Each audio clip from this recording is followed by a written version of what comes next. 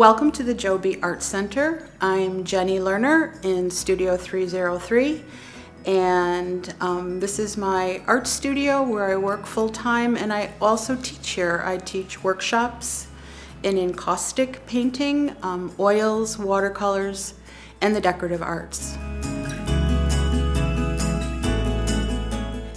Encaustic painting is using paint that is molten and it is made of beeswax, damar crystal, and pure pigments.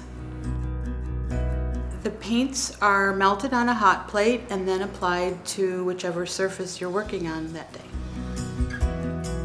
I love the tools because of the different lines and shapes that I can create and I love the flexibility of them and how hard I press creates different lines. The tools are perfect for encaustic.